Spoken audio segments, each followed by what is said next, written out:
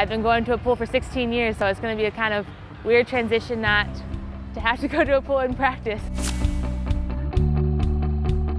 So it's going to be taking a little bit of an adjustment. My mom never pushed us towards swimming. We just kind of gravitated there on our own. My oldest sister was nine. I was at the pool anyway. I was like, might as well swim. And so I just would do it and have fun and just kept going with it. Well, I've been coaching for 42 years, so I've had a lot of great swimmers that I have worked with, but I don't think none that is as balanced as what Maura is. Uh, she really has three balls that she's juggling. She's not only a good student as a nursing student, she has a 3.7 GPA in nursing, but she's also obviously a very good athlete. She's the epitome of a teammate that you would want, the epitome of who you would want leading your team. She's chased after a national championship, and I know that's something that she deeply wants. You can only control yourself in a race, so if someone's better than me that day, then they're better than me, and I can't really do anything about it. I'll be happy as long as I know that I did the best of my ability in the race, and if I get a best time, that's awesome. If I don't, then I still tried as hard as I could. Count on three. One, two, three.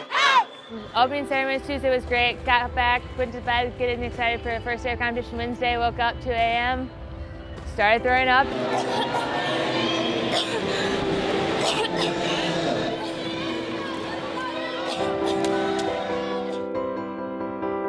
Pretty much spent my night in the bathroom and all day in the hotel. Um, it sucked. I mean, anyone who's ever had food poisoning or their stomach flu pretty much knows where you're at, especially that biggest week of competition. But um, just rested up and tried to be there for my teammates. And I ended up scratching a couple events just so I could be there for the relays. And it was a little bit of a struggle and it was a little bit rough, but in the end it was kind of a blessing because I got to enjoy the Nationals a little bit more because I didn't have to swim as much. She just was so superb doing the best she can and congratulating the people that were ahead of her and, and uh, the people that were faster than she was, still had a smile on her face. My time with Division Two has been awesome. Um, I really enjoyed the whole holistic approach to it.